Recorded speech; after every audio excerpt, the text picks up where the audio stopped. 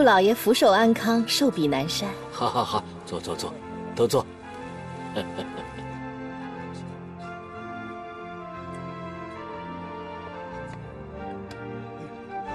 这是二少爷送的派克金笔一支。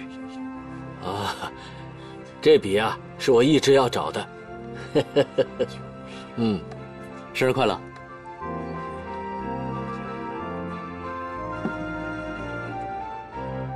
还有二少奶奶送的前朝贡品紫檀木座瓶。哇，玉婉啊，难得你想的这么周到啊！父亲，您过奖了，祝您生日快乐！啊，哎呀，这宫里出来的东西自然是好的，好歹拿出来让我们开开眼呢。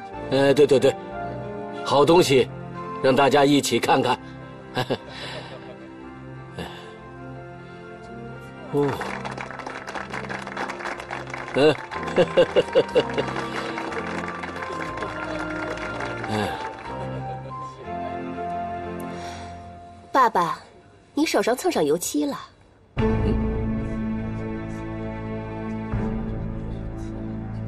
啊，不碍事，不碍事。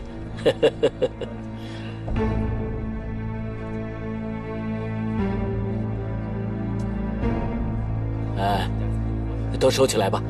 是，老爷。玉婉，今天在客人面前，我给你留足了面子。但是这件事呢，必须还要追究。你为什么以次充好，欺骗公婆？母亲，我没有。这是我的陪嫁，宫里的长寿摆件，不会有错。我想。应该是被人调包了。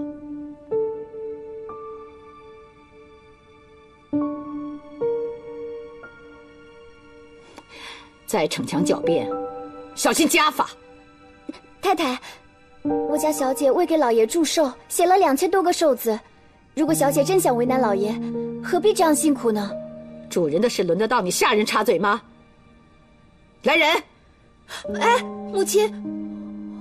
我我认错还不行吗？求您放过素汐吧。再说今天是父亲的生日啊。你错在哪儿？我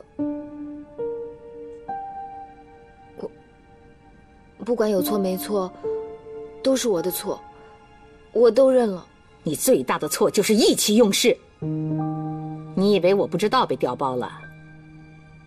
你以为我不知道你是被诬陷的？可你就是没有高招对付那些敢在你身上做手脚的人，我就该罚你，以后让你长长记性，改改这个没心机的毛病，懂吗？嗯，好了，够了，够了。玉婉，我相信你不是一个弄虚作假的人。这个礼物，无论怎么样，我还是要谢谢你。这件事情到此为止。今天是我的生日，我想太太平平的过一天，行吗？嗯。好了，算了，允堂，跟我去书房。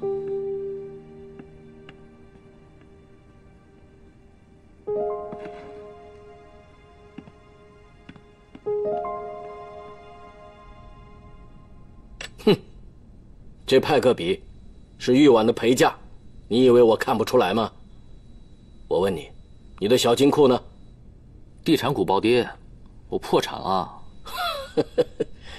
那实在太好了，你现在就可以安下心到我公司里去工作。爸，我明天还想去股市呢。股市？你知道股市是什么？投机、混乱、内部炒卖消息。上海一下子开一百多家交易所，什么煤炭交易所。什么棉纱交易所，连麻袋都要弄个交易所，你说这不是乱象是什么？我就是因为麻袋翻了三倍呢，然后在地产股上输得一干二净，是不是？但我学到了另外一种东西，什么东西？就是不付出代价，不会长见识的。我知道我以后不能再相信什么消息啊、炒作的手段，我要找一些对国计民生有利的长线股票，是不是？你呀，好自为之吧。哎，知道了。等一下，我跟你说，你赶快回房去跟玉婉赔不是。爸，难道你也相信是我做的吗？我发誓，真的不是我做的，真的。哼，你看，一副幸灾乐祸的样子，谁会相信你啊？好吧。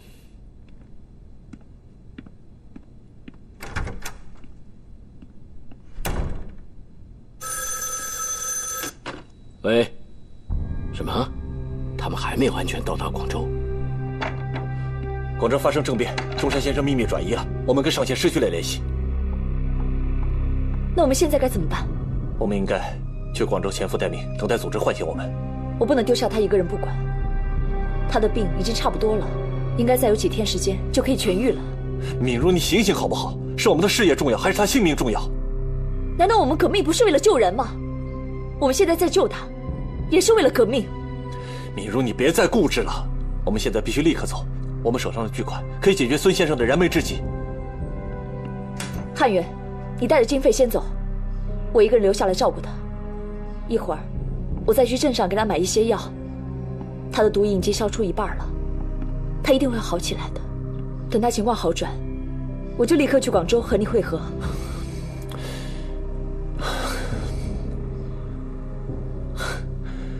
那好吧，我再等你两天，只要他能好的话，我等你两天。对不起，汉元，我拖累你了。血雨腥风，我们都一起度过了。我就是这样，一个朋友。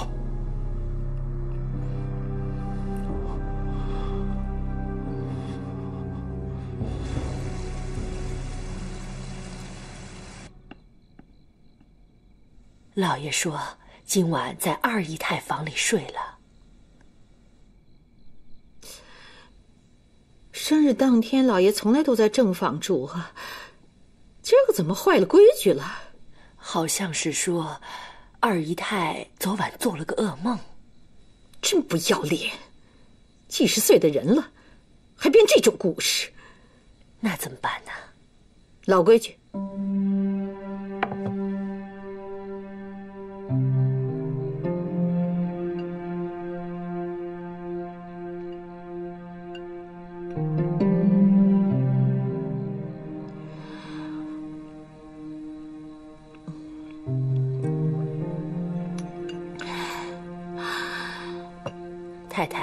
我去请老爷去。容妈，我今天的心口疼的厉害，和和往常不一样，疼的厉害，快快扶我上床。太太，哎呀，哎呀，你怎么了？我去给您请医生去。不不，不能去请医生。太太，太太。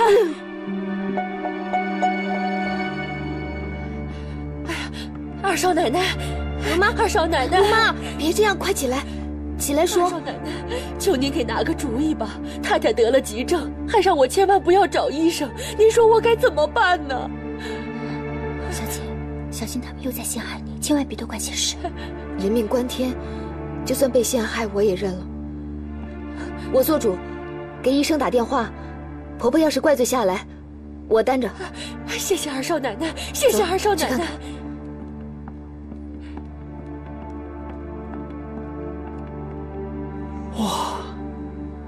二少奶奶为人真善良，真大气，您说是不是，少爷？哎，哎，赶紧把我爸叫过来，我怕我妈会出事。哦，杜老爷，大太太的病有些棘手啊。怎么回事啊？大太太体内有种毒素，常年累积，已成痼疾。哎，那怎么办呢？您先别着急，我马上给他开几副药，先吃着再说。啊，谢谢你，大夫。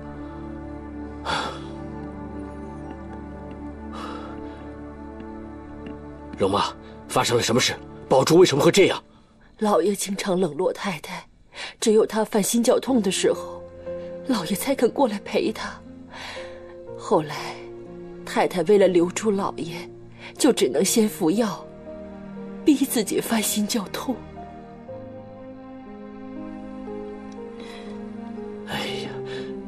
你这又何苦呢？你现在不但欺骗了我，你还糟蹋了自己的身子，简直是……哎，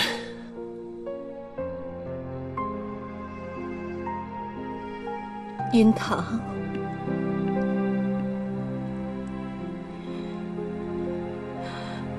刚才妈妈以为再也见不到你了。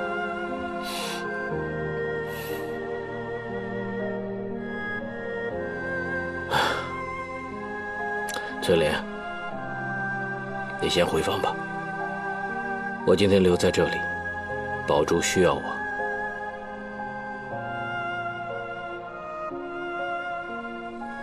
是老爷。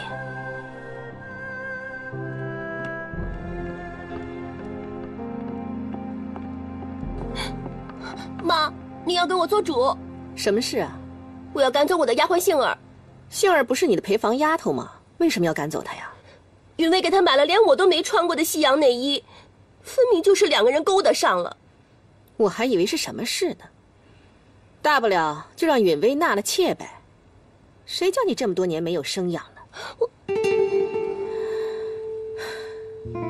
你看看，当年的大太太是何等的显赫呀！老爷不也一样纳了妾吗？何况是你，妈，我不要。谁让你这么多年自己没本事留住男人，还在这戳着干嘛呀？还不回房去？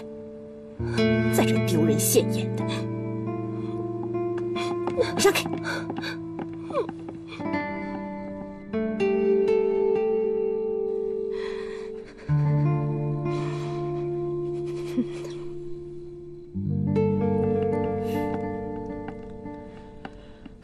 笑话看够了没有啊？没看到笑话，只看到悲剧。你的意思是说，从他们身上，你看到了自己的未来？我看到，婆婆那么要强的女人，却也只能靠自残身体换丈夫片刻关爱。大嫂用尽心机，转眼就失宠。在这个大家族的宅斗里，所有女人都是失败者。这不是我要的未来。对啊，这个家就是个大酱缸，你们女人呢，就只能坐井观天，没有出路，到最后就只会互相折磨，然后变得丑陋不堪。你不也一样，被这个酱缸熏染的，心胸狭窄，自私自利。哎，我跟你不一样，我外面还有另一片天，你呢，就只能烂在这个酱缸里。交易？什么？家里所有人都知道，你的股票赔光了。给我自由，你提交易条件。哪有人自愿挨宰的？哼！跟你这种恶魔打交道，我不怕掉一层皮。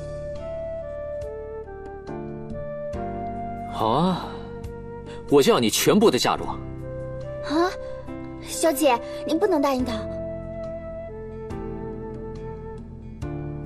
素汐，把库房钥匙给我。杜允堂，除了翡翠屏风，其他的嫁妆都归你。哎，喂，你怎么说话不算话啊？我就是说话不算话。我要把你送回娘家回炉再造，你啊根本不配做我杜允堂的妻子。杜允堂，喂，杜允堂，小姐你千万别生气，我绝对不会让恶魔抢走你所有嫁妆。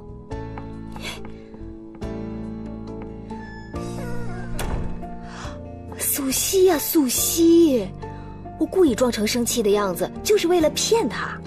啊，只要他答应让我回娘家，我就有施展的空间了。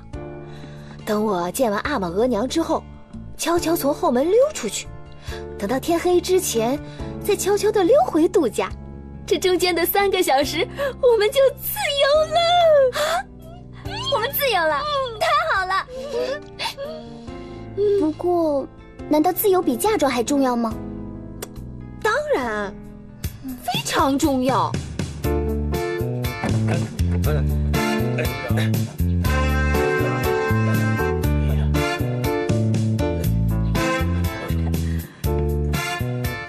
啊，来了来了，哎，来来，给我把这个小伙子就是有劲儿啊，慢点啊，慢点。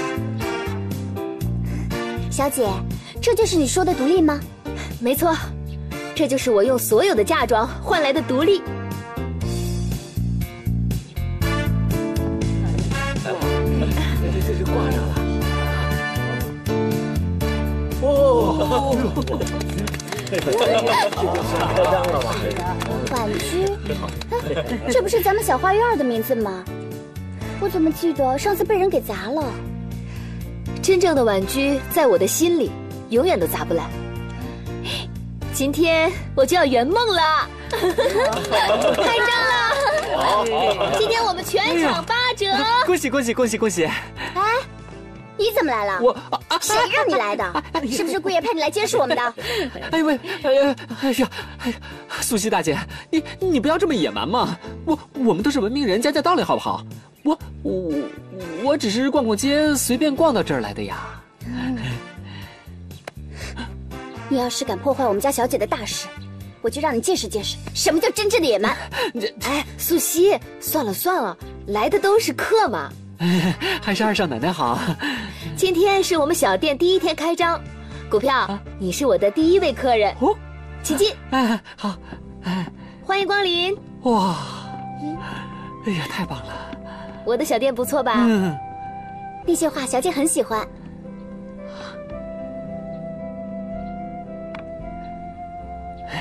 二少奶奶，这是少爷打赏我的零钱，我要买二少奶奶这幅画，帮二少奶奶开张大吉。哟，没看出来嘛，你小子还有点良心。除了良心，还有卖相，好不好？苏西大姐，你就没看出来我一表人才啊？看出来了，你是印堂发黑，人中太短，找打！不跟你说了，太野蛮。二少奶奶，你人那么好，股票是心甘情愿为你捧场的。谢谢你股票，我相信我的小店一定会开张大吉，生意兴隆。嗯，二少奶奶，我相信你一定会成为上海滩最有名的女人。给我签个名吧。没问题。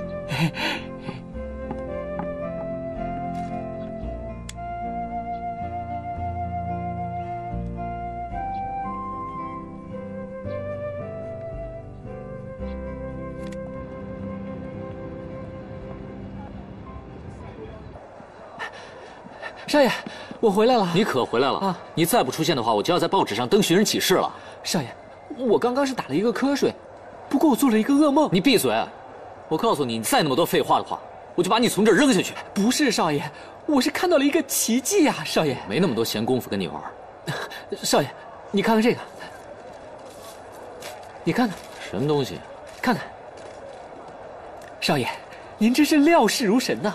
二少奶奶果然从娘家溜出来了。不过他好像开了一家婉居，在卖自己画的画呢。婉居啊，婉居是同玉婉郊区小画院的名字。清平就是在那儿被抓走的。清平死的太无辜了，我绝对饶不了那些害死他的人。你用不着跟我说这些，时间会淡化一切。何况童玉婉长得那么漂亮，我理解你的口是心非。我跟你说，我已经想好了对付周明昌的方法了。至于童玉婉，要是他真的披着一层画皮的话，我也会亲手把他揭下来。哎呦，少爷，心悸纺织开始涨了。